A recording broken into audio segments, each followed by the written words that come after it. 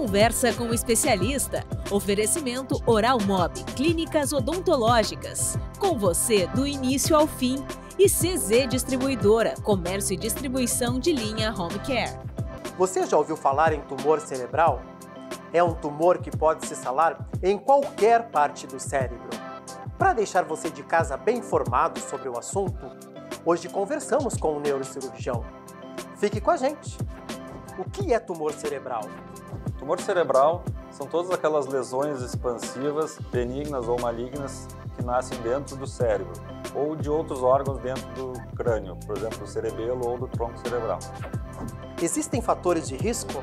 Sim, os principais fatores de risco são exposição à radiação sobre o cérebro, algumas síndromes genéticas têm uma maior predisposição ao aparecimento de tumor cerebral e aqueles pacientes com câncer em outros órgãos podem desenvolver ao longo do tratamento uma lesão cerebral. Quais são os tipos de tumores cerebrais? Existem vários tipos de tumor cerebral. De uma maneira resumida, existem os tumores primários, que são os tumores que nascem no cérebro.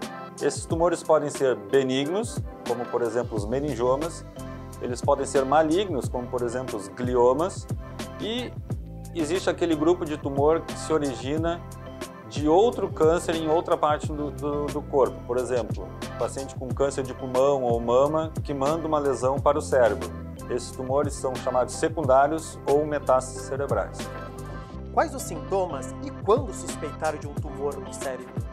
Os principais sintomas de tumor cerebral são dor de cabeça nova e recorrente, crise convulsiva, déficit de linguagem, ou seja, dificuldade para falar ou compreender o que tá, está sendo dito, desequilíbrio, perda auditiva, perda visual, uh, náusea e vômito sem uma causa aparente, são os principais sintomas de, de tumor cerebral.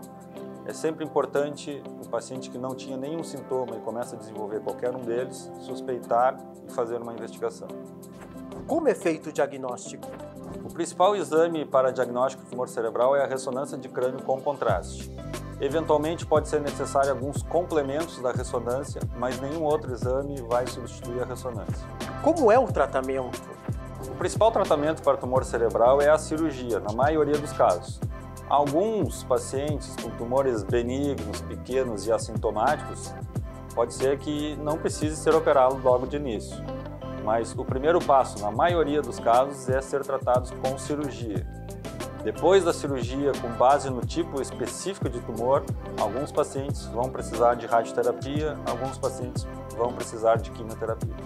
Há formas de reduzir as chances para este câncer ou realizar um rastreio? Pacientes assintomáticos, sem nenhum histórico de câncer ou histórico familiar, infelizmente não existe nenhum tipo de exame que nos diga se o paciente tem um risco maior ou não de desenvolver algum tumor cerebral aqueles pacientes com histórico familiar significativo de tumor cerebral ou que tenham propriamente um câncer em algum outro órgão, esses pacientes eventualmente vale a pena discutir com um médico oncologista a necessidade ou não de fazer um exame do crânio.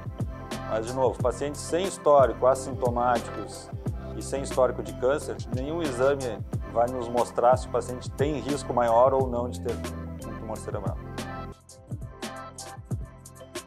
Conversa com o especialista. Oferecimento Oral Mob, clínicas odontológicas. Com você do início ao fim.